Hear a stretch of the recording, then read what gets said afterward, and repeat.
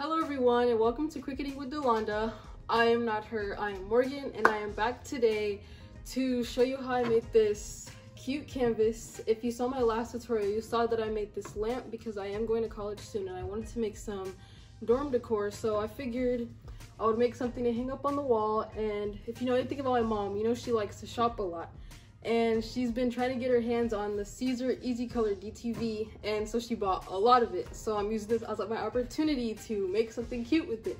So it just says take it easy. And I know that college will be pretty hard. So I think this will be pretty motivating to use and have on my wall.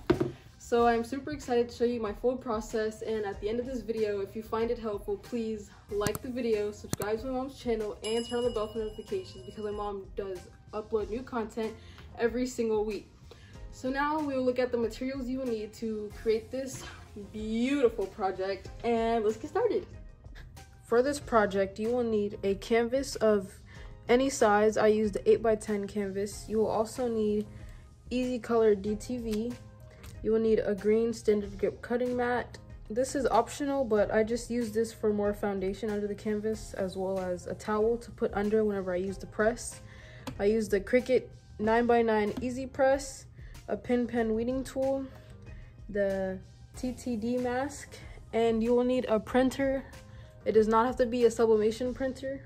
I use the Canon MX470 and you will need a Cricut Explore Air 2. So without further ado, let's get started.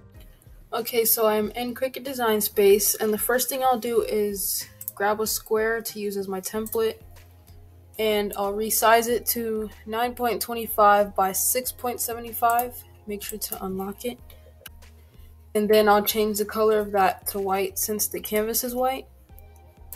And then I'll go ahead and go to images and search for what I want. So I just typed in boho rainbow. And just scroll through and find the one that you like. I have mine saved to my favorites and this is the one that I liked. Click add to canvas.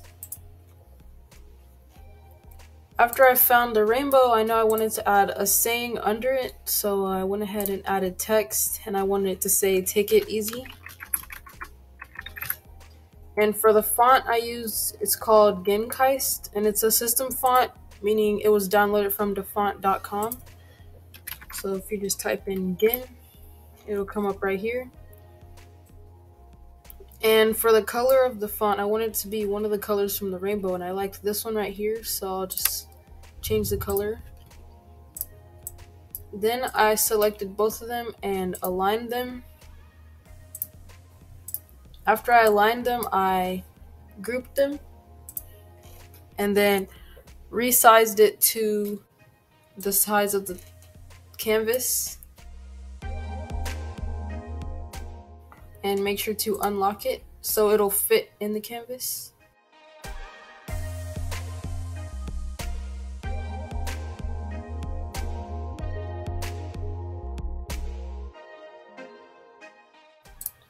Okay, so now that I like it at this size, I'll go ahead and hide this one that I made previously, the template and the design. And I'll hide this template in the back, and I'll click make it. Since I'm using DTV for this, I will not be mirroring it because I'm printing on top and it does not need to be mirrored. So I'll click continue. Now I'll click send to printer. And I'll be printing from the Canon MX470 series printer. Make sure to use system dialog and keep add bleed on and click print. Click on preferences and we'll be using photo paper and I'll be using the glossy photo paper for this. And I want the print quality to be high and click OK. Now I will get this printed out and the rest will be back on the camera. Okay, so I'm at the printer now and the DTV has two sides to it. One of it is glossy, one of it looks kind of matte. So I'm gonna put this in the printer face down with the matte side face down. And I'll get this printed out.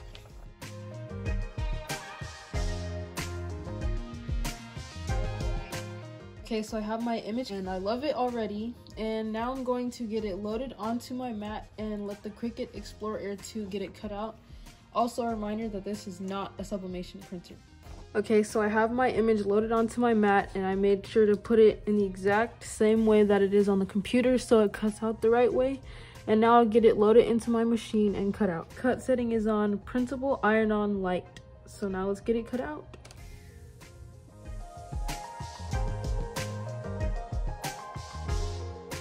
Okay, so the design is cut out and I used the pin pen tool to get this weeded out.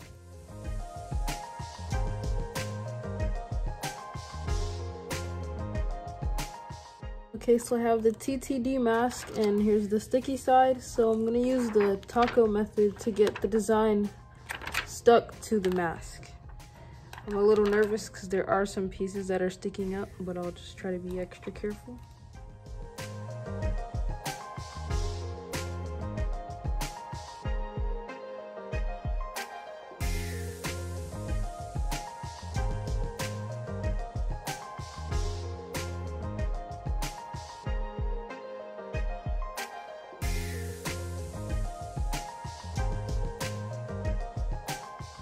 And now I'll use the squeegee to burnish it to make sure it's adhered nicely. Now that I have the design stuck to the mask, I'll remove it from the backing.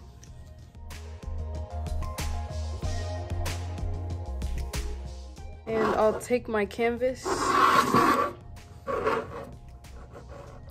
and place the design on where I want it.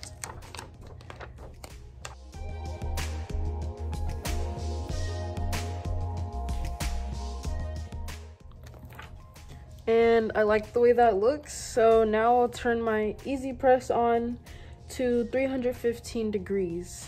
And in order to keep a nice foundation under the canvas so it presses nicely, I'll use this towel and place it under the canvas so there's some foundation under it. Okay, I have the towel under the canvas and I'm also using this for extra support.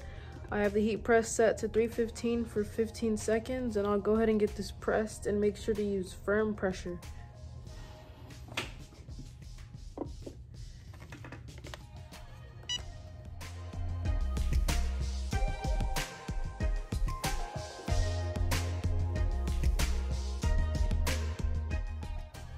Alright, so I have it pressed and I'll check to see if it's stuck down. It's not, so I'll press it one more time.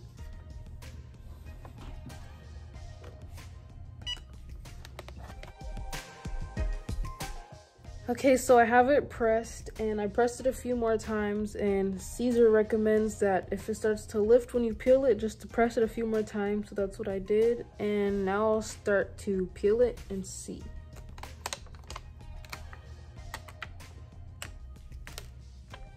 So far, so good.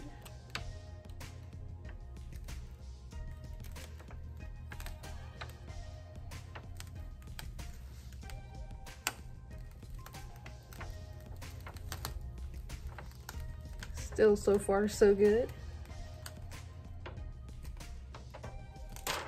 And it's off. Yay! Here's what it looks like. And what am I gonna say? I love it. So now I'll go to the chair and give you my final thoughts. Okay, so this is the final product and what am I gonna say? I love it. I absolutely love this and if I'm being honest, I'm kind of biased. I love this a lot more than this lamp. I honestly might just remove the hearts and use this color to make more hearts and put them on the lamp, but we'll see about that later. And like I said earlier, you know, my mom likes to shop a lot, so she bought a bunch of canvases. So I definitely will be using more of the Siser Easy Color DTV to make more of these and hang in my dorm. There were a few things I also wanted you to know is that for this, I did have to press it multiple times with very firm pressure to make sure it stuck to the canvas well. And I also wanted to say that you can use whatever size canvas you want and it's completely up to you. So if you find this video helpful, please like the video, subscribe to my mom's channel, and turn on the bell for notifications because she does upload new content every single week. Thank you so much for joining me today, and thanks for watching. Bye!